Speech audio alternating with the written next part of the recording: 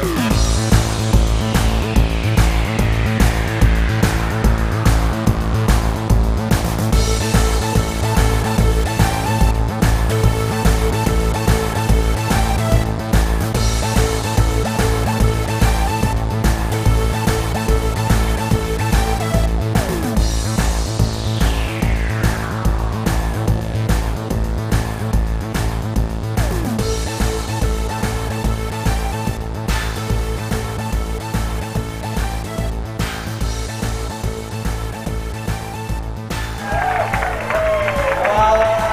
Banks now. I'll take to swipe my EFTPOS card through that.